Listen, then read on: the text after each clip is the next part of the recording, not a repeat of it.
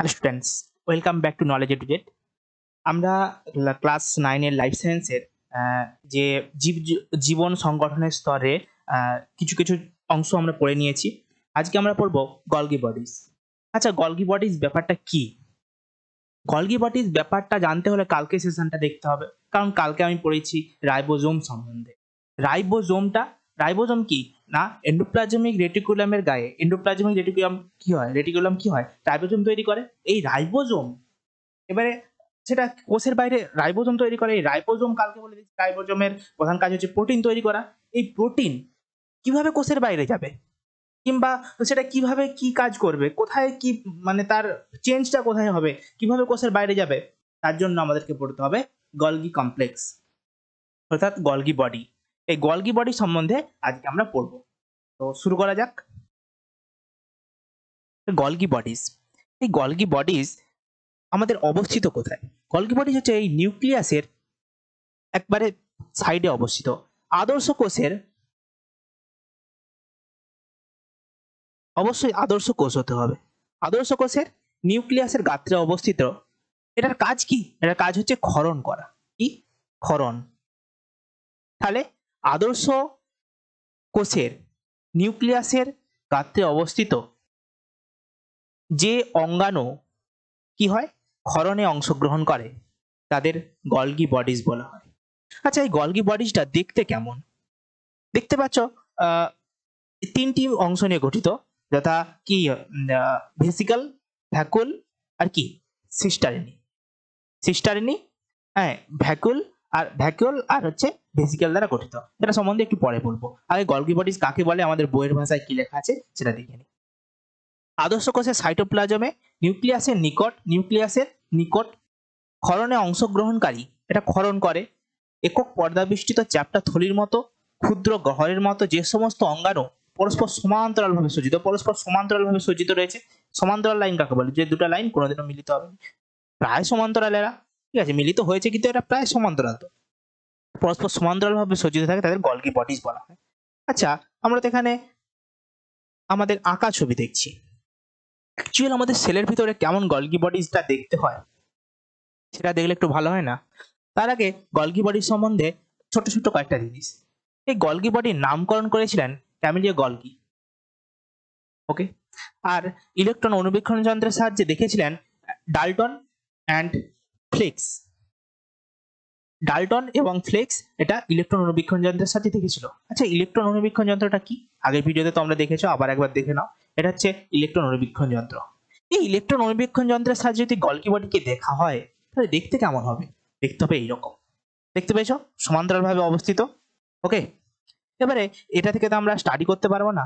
কারণ এটা ছবিটা যথেষ্ট মানে ছবি বলতে কি, এটা দেখতে ইলেকট্রন মাইক্রোস্কোপের সাহায্যে দেখা হলেও এটা ঠিকঠাক মানে আমরা এটা থেকে স্টাডি করতে পারব না। তার জন্য আমাদেরকে আর্টিস্টিক ছবি চাই। এই গলগি বডিজ গলগি বডিজের কয়েকটা অংশ মানে যেগুলা ইম্পর্টেন্ট ইম্পর্টেন্ট এটা হচ্ছে সিস ফেস আর এটা হচ্ছে ট্রান্সফেস ট্রান্সফেস মানে কি?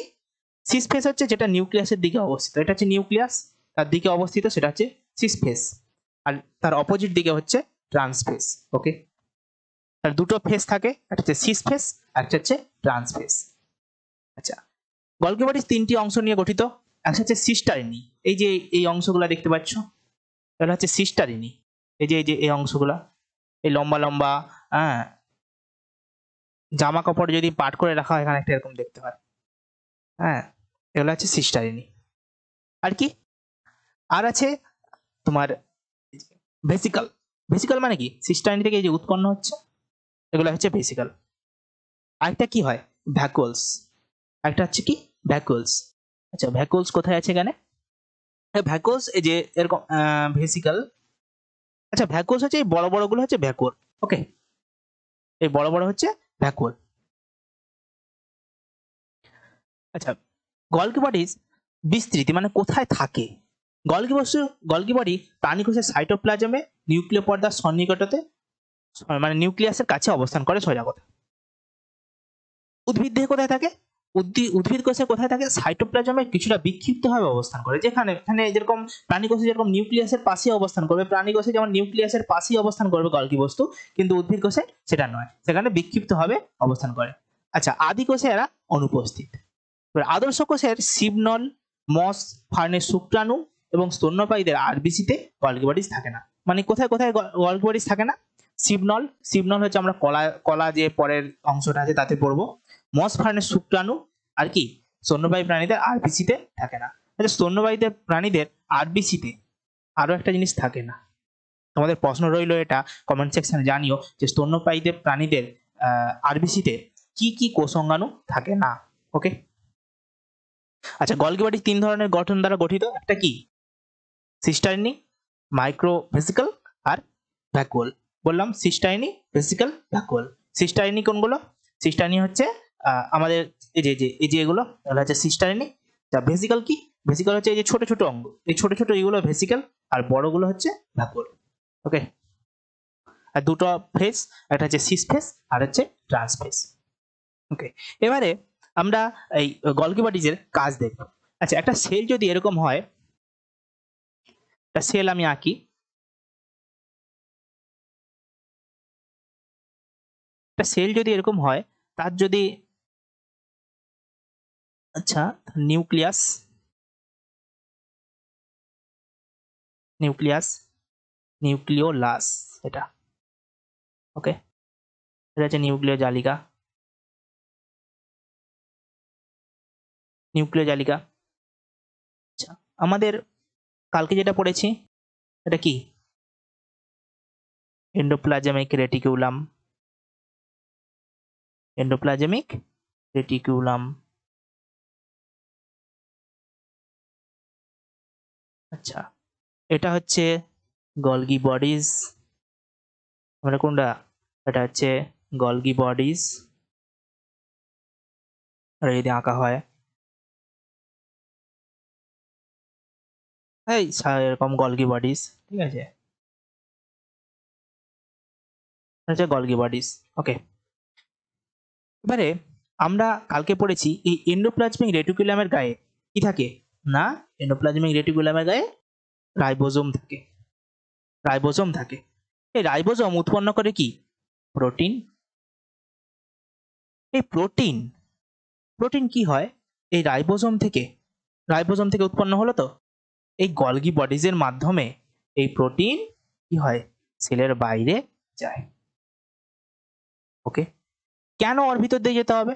তো আলাদা রাস্তাও যেতে পারতো। কারণ গলগি বডিজের ভিতরে প্রোটিন বিভিন্ন যদি তার কোনো চেঞ্জ হওয়ার দরকার হয়, কোনো যদি চেঞ্জ করার প্রয়োজন হয় গলগি বডি সেই কোর প্রোটিনের মানে আকার মানে তার বৈশিষ্ট্য পরিবর্তন করতে পারে। তাই যাকে বলে আমাদের মানে পুনরায় তৈরি করা মানে এটাকে ঠিকঠাকভাবে তৈরি করা যাক, বলে যেটা আমাদের শরীরের দরকার, সেইভাবে তৈরি করে প্রোটিনটাকে একটা প্রোটিন তো অনেক ধরনের হয় হ্যাঁ লাইসিন লিউসিন এরকম অনেক ধরনের আমাদের প্রোটিন আছে, সেটা ছাড়ো হ্যাঁ যেরকম ওই রকম যেমন অনেক প্রোটিন আছে সেরকম যেটা প্রয়োজন আমাদের শরীরের সেই ধরনের প্রোটিন তৈরি করে এই গলগি বডি এই ওকে তার জন্য গলগি বডির ভিতর দিয়ে যেতে হয়। এবার কীভাবে যায় একটু সেটা দেখে নেওয়া হোক। আর আর গলগি বডিজের সব কাজগুলো আবার বলে দিই। ক্ষরণ করে কি কি? কিছু কিছু উৎসেচক হরমোন এসব ক্ষরণ করে হয় গলগি বডিজ আর কি? পরিবহন বলেছি, এই যে এখান থেকে যে এগুলো তৈরি হয়, উৎসেচক যে সমস্ত পদার্থ তৈরি হয়, এগুলো কি? পরিবহন করে। আচ্ছা সঞ্চয় করে। গলগি বডিজ কখনো কখনো কি হয়? খাদ্য সঞ্চয় করে। ঠিক আছে, আর কি? লাইসোজোম গঠন। গলগি বডিজ লাইসোজোম গঠন করে। এই লাইসোজোম কি? আমরা পরের ভিডিওতে জানব। লাইসোজোম কি? এই লাইসোজোম গঠন করে কি? গলগি বডিজ লাইসোজোম বিশাল একটা ইন্টারেস্টিং জিনিস। আমাদের, আমরা কি করি? যদি পোকামাকড় আসে, তখন আমরা কি ডেটল দেই? হ্যাঁ যদি আরশোলা দেখতে পাই হারপিক এই Harpic sorry sorry sorry sorry Harpic কি আমাদের আরশোলা আমাতে দেওয়া হয়। বাবা, ক্যা কর দিয়া? এই হারপিক করা হয়, হারপিক দেওয়া হয় কি? পায়খানা পরিষ্কার করার জন্য। আর হিট দেওয়া হয় আরশোলা মারার জন্য। সেভাবেই আমাদের শরীর কি করে? বিভিন্ন যোগ জীবাণু এলে কি কয়? এই লাইসোজোমের মাধ্যমে তাকে ধ্বংস করে। সেটা সম্বন্ধে আমরা কালকে জানব। ঠিক আছে? আর কি? অ্যাক্ট্রোজম গঠন। এই শুক্রাণুর অ্যাক্টোজোম গঠন করতে সাহায্য করে। দেখা যাবে শুক্রাণুর অ্যাক্টোজোম কি? এটা যদি শুক্রাণু হয় এটা যদি শুক্রাণু হয় শুক্রাণু দেখতে এরকম হয় খানিকটা। হ্যাঁ। এরকম হয়। এই শুক্রাণু যদি হয় তার অ্যাক্রোজম এই মাথার দিকে তার অ্যাক্রোজম থাকে। এটা নয় এটা নয়। এটা শুক্রাণু হলে এটার মাথার দিকে এরকম অ্যাক্রোজম থাকে। এটা আমরা ভালো করে দেখছি একটু পরে এবারে তাহলে কাজটা কেমন করে? এবার দেখা যাক। এটা ধরো নিউক্লিয়াস। হচ্ছে নিউক্লিয়াস এটা হচ্ছে কি? আমাদের এন্ডোপ্লাজম গ্রেটিকুলাম এখানে ধরো একটা প্রোটিন তৈরি হয়েছে। প্রোটিনটা গলগি বডির মধ্য দিয়ে ঠিক এভাবে যাবে ওকে প্রোটিনটা কীভাবে হয়ে যাবে? আরেকবার দেখি। প্রোটিনটা গলগি বডির মধ্য দিয়ে এভাবে যাবে। এই যাওয়ার সময় প্রোটিন কি হবে? নিজের মতো করে মানে যেটা যেরকম প্রয়োজন, সেই সেই রকম মানে আকার ধারণ করবে। সেরকম আকার মানে সেরকম বৈশিষ্ট্য ধারণ করবে ওকে তাহলে ক্ষরণ করে, বললাম এক্ষুনি উৎসেচক হরমোন মিউকাস প্রভৃতি পদার্থ ক্ষরণ করে। আর কি পরিবহন করে, মধ্যস্থ বিভিন্ন পদার্থ গলগি বডি কোষ মধ্যস্থ বিভিন্ন পদার্থ যেমন উৎসেচক হ্যাঁ যোগ করার গাত্র, খরিত প্রোটিন ইত্যাদি, পরিবহনের যে প্রোটিন প্রোটিন পরিবহনে সহায়তা করে, আরও বিভিন্ন পদার্থ উৎসেচক হ্যাঁ এই সমস্ত যোগ করার ধাত্র, এই সমস্ত হচ্ছে পরিবহন করে। আর কি সঞ্চয় গলগি বডিজ এবারে কিছু কিছু প্রোটিন যদি গলগি বডিজ বলছে, আজ আমি সঞ্চয় করে রেখে দিচ্ছি, সে কিছু কিছু সঞ্চয় করতে পারে, ঠিক আছে? ওকে এবারে লাইসোজোম গঠন লাইসোজোম গলগি বডিজ কি? সেলে লাইসোজোম গঠন করে, লাইসোজোম কি? এটা আমরা কালকের ভিডিওতে, কালকে বলতে নেক্সট ভিডিওতে জানব। আর কি, শুক্রাণুর অ্যাক্রোজোম গঠন। তো এই শুক্রাণুর অ্যাক্রোজোমটা কি? সেটা যদি আমি তো ভালো করে ছবি আঁকতে পারিনি, আঁকিনি, তার কারণ আমরা ভালো করে দেখব বলে। শুক্রাণু, এটা হচ্ছে অ্যাক্রোজোম। এটা যদি শুক্রাণু হয়, তাহলে এটা হচ্ছে অ্যাক্রোজোম। ওকে এটা হচ্ছে অ্যাক্রোজোম। এটা গঠনে কি হয়? বডি সাহায্য করে। আশা করি তোমরা সুন্দরভাবে বুঝতে পেরেছ। তাহলে প্রথম থেকে আমরা যা যা পড়েছি, প্রথম থেকে আমরা কি পড়লাম একবার দেখে নিই। গলগি বডিস ঠিক আছে? গলগি বডিস কোথায় থাকে? গলগি বডিস থাকে আমাদের নিউক্লিয়াসের গাত্রে ওকে আদর্শ কোথায়? সাইটোপ্লাজমে গলগি বডিস কাকে বলে? এটা পড়েছি। তারপরে আমরা পড়েছি ক্যামিলিও গলগি প্রথম এটা নামকরণ করেন, এটা পড়ার দরকার নেই। এবারে ইলেকট্রন অনুবীক্ষণ যন্ত্রের সাহায্যে কেমন দেখতে হয় গলগি বডিজকে সেটা আমরা দেখেছি। গলগি বডিজ যদি আমরা মানে স্টাডি করার জন্য যেভাবে দেখতে হয় সেটা উপরে দেখেছি। এটা দেখেও স্টাডি করা যাবে, অবশ্যই করা যাবে, কারণ বিজ্ঞানীরা এটা দেখেই স্টাডি করেন। ঠিক আছে? কিন্তু আমাদের যাতে বুঝতে সুবিধা হয় তাই আমরা এরকম ব্যবহার করি। এবারে বিস্তৃতি, কোথায় গলগি বডিজটা কোন কোন কোষে থাকে, কোথায় কোথায় থাকে না, সেটা পড়েছি। কোথায় কোথায় থাকে?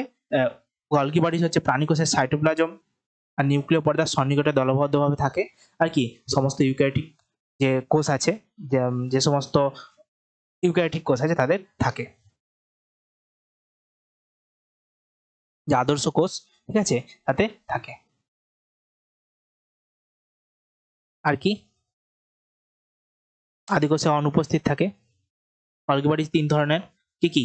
সিস্টারনি মাইক্রোভিলাই আর মাইক্রোভেসিক্যাল ভিলাই বলা হয়ে যাচ্ছে মাইক্রোভেসিক্যাল আর ভ্যাকুয়াল কাজ কাজ পড়েছি, এই যে এভাবে যায় ওকে ওখান থেকে প্রোটিন তৈরি হয়ে আচ্ছা ক্ষরণ ক্ষরণ করে, পরিবহন করে, সঞ্চয় করে, আর লাইসোজোম আর শুক্রাণু অ্যাক্রোজোম গঠন করে। আশা করি তোমরা সবাই বুঝতে পেরেছ। আর যদি কোনো প্রশ্ন থেকে থাকে, অবশ্যই কমেন্ট সেকশনে জানিও। আর অবশ্যই আমার চ্যানেলটা সাবস্ক্রাইব করে দিও। Thank you